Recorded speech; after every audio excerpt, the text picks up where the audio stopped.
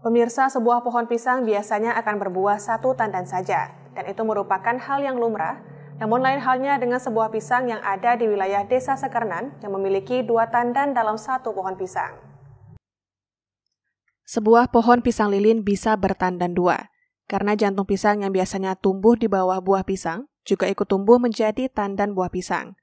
Warga pun ramai melihat pohon pisang aneh tersebut.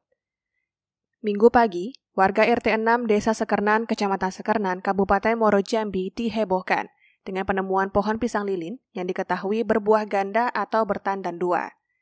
Biasanya di bawah buah pisang yang tumbuh normal, terdapat jantung pisang di bawahnya. Namun pisang lilin yang ditemukan warga di kebun milik Rian, warga Sekernan Moro Jambi ini aneh, karena jantung pisang tersebut malah ikut menjadi buah pisang lilin sehingga mempunyai tandan pisang ganda. Atas kejadian aneh ini, menarik perhatian warga setempat dan tak jarang mereka ikut mengabadikan gambar buah pisang ini lewat kamera ponsel mereka. Atas kejadian ini, sontak membuat warga sekitar ramai melihat pohon pisang tersebut. Menurut warga, selama ini baru pertama kali melihat pisang yang tumbuh dengan dua tandan tersebut.